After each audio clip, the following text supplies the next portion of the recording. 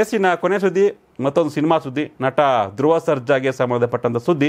ಧ್ರುವ ಸರ್ಜಾ ಒಂದು good news ಕೊಟ್ಟಿದ್ದಾರೆ ಫ್ಯಾನ್ಸ್ಗೆ. ಎಸ್ ಅದೇನಪ್ಪ ಗುಡ್ ನ್ಯೂಸ್ ಅಂದರೆ, ಅದು ಸಿನಿಮಾ ನ್ಯೂಸ್ ಅಲ್ಲ, ಅವರ ವೈಯಕ್ತಿಕ ವಿಚಾರ.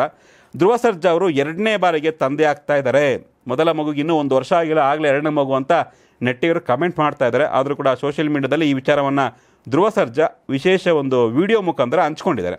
ಧ್ರುವ ಸರ್ಜಾ ಮತ್ತು ಪ್ರೇರಣಾ ದಂಪತಿಗೆ ಈಗಾಗಲೇ ಮಗಳಿದ್ದಾಳೆ.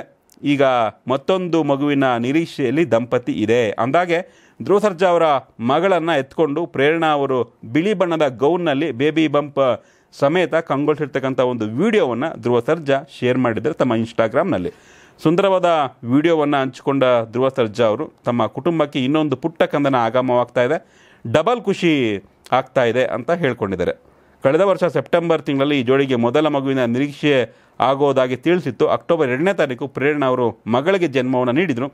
ಇನ್ನು ನಾಮಕರಣ ಆಗಿಲ್ಲ. ಆಗಾಗ ಸೋಷಿಯಲ್ ಮೀಡಿಯಾದಲ್ಲಿ ಫೋಟೋಸನ್ನು ಶೇರ್ ಮಾಡ್ತಿರ್ತಾರೆ.